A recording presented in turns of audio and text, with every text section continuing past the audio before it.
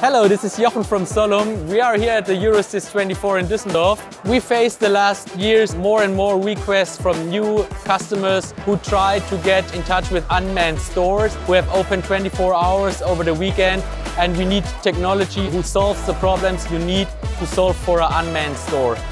Therefore, we show here the combination of, of new video technology and uh, scales on the shelf plus ESL we can optimize the price all over the day. So is the product less requested, we can uh, decrease the price. If we have less stock, we can increase the price, all based on AI.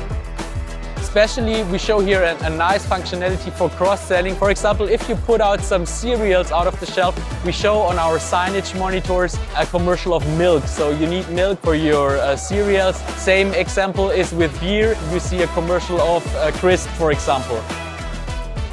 We as SOLUM are very proud to have the fastest ESL on the market.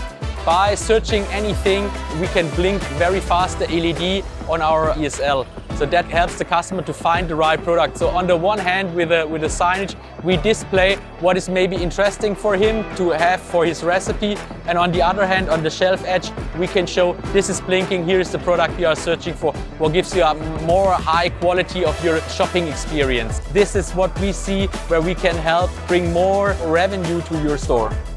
Our mission is to bring all the benefit from the online shopping to your brick and mortar store.